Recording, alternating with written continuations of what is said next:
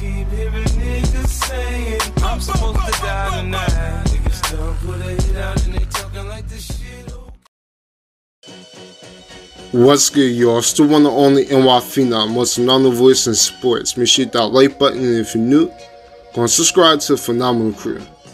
Now let's get to it.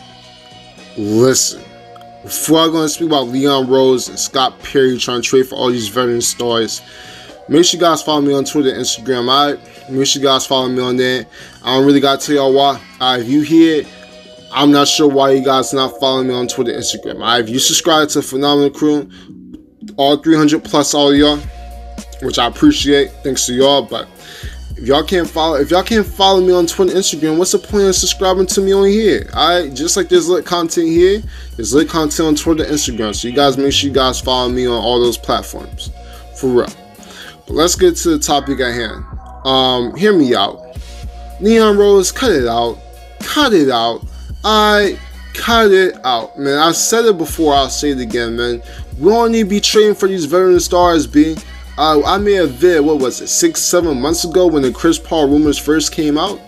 I told you that was a no-go. I we don't need to go out and trade for Chris Paul and take that what Chris Paul is getting paid what 30 mil a season? Please. Are y'all kidding me? Please listen, this is not the um, this is not where we're trying to go to. Alright, we are a rebuilding team. Alright, we shouldn't be going out here trying to trade for Chris Paul trying to trade for Victor Oladipo. For what? For what? We got the young savior in the building himself and RJ Barrett. Why would we go out there and try to trade for Victor Oladipo, who plays the same position as RJ Barrett? So you telling me if we were to go out and trade for Victor Oladipo, we have to give up RJ Barrett. There's no way the Pacers trade Victor Oladipo and want to give up an RJ Barrett. Really? Like, come on now. I get it. Victor Oladipo, he's nice. Uh, when Victor Oladipo is fully healthy, he's a top five-ish shooting guard. Yeah, sort of, sort of. He took LeBron to, to seven games uh, a few years ago. But my thing is this: you got RJ Barrett in the building, you got some young stars around him. You got Money Mitch. I we got some point guards to see. You know, if Franklin the King can develop, we got that going. Dennis Smith Jr. maybe. Alright, but we got the eighth overall pick. And listen, we got RJ Barrett, Money Mitch, y'all. Why are we trying to go after Chris Paul? Why are we trying to win now? I we shouldn't be out here trying to go contend. I when you go out and trade and you know trying to talk about trading for Chris Paul and trying to go out and trade for Victor Oladipo, what I get from there, my thought is you trying to go out and win now. So from all reports is Leon Rose, he doesn't want to rebuild. He wants to go out and win now. And that's a bad decision. I we brought in Tom Thibodeau. I listen, let him try to develop these young players. Let him try to develop RJ Barrett. I listen, man. RJ Barrett, regardless, is going to take that second year leap. I'm telling you right now, RJ Barrett.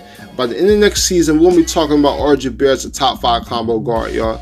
Uh, this guy RJ Barrett is about to take the biggest second year leap we've seen since like shit. I can't even I can't even mention a, a, another player that's taking a second year leap like RJ Barrett's going to man. Like this guy RJ Barrett, we got the start in the building. We don't need to go out and trade for Victor Oladipo. We don't need to go out and trade for Chris Paul. Let's just say we out and we get Chris Paul and we get Victor Oladipo.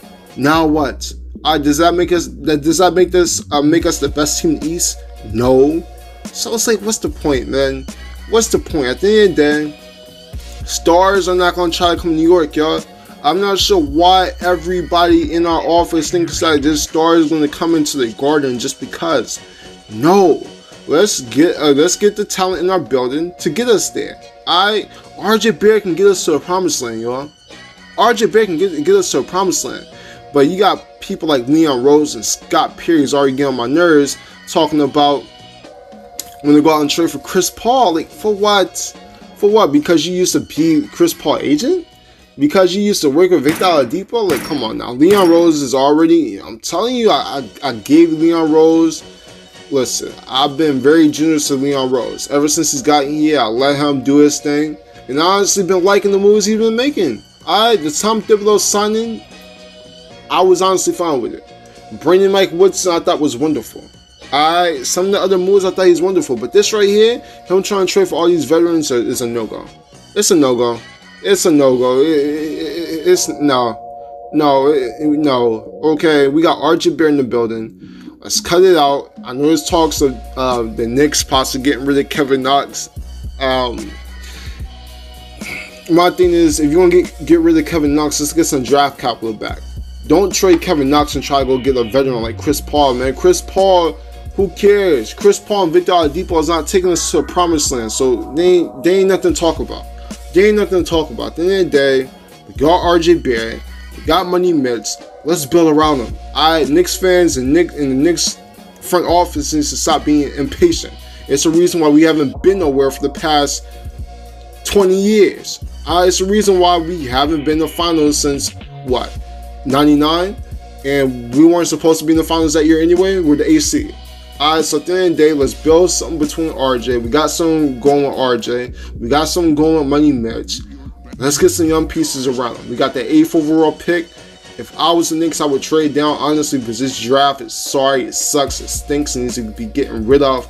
This is the worst draft I've seen in like in forever. I don't think there's a worse draft I've seen since this draft. Like people are trying to really tell me that LaMelo Ball is going to be a superstar. I outside James Wiseman, I don't see anybody in this draft that's exciting. I don't see no superstars in this draft. So at the end of the day, honestly, if we could trade this draft pick for a next year draft pick or something, that would be wonderful.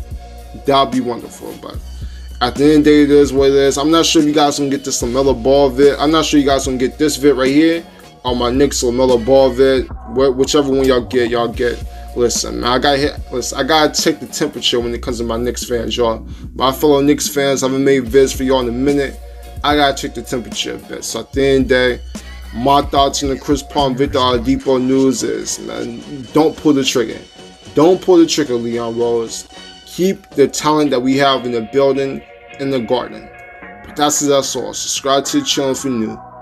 I'm the phenomenal one, and I'm out. Deuces. Shout out my Crips, that's still crippin', nigga. Shout out my Bloods, that's still bloodin', nigga. Straight from the dirt, shout out my muddy niggas. Came from the bottom, all my get money niggas. When I die, you ain't got to cry, you just got to pray. Put some weed where I lay, I'ma see you another day. Full of energy, you my enemy, you got to pay. Was on the east side, fucking with them Crips the other day, was on the west side.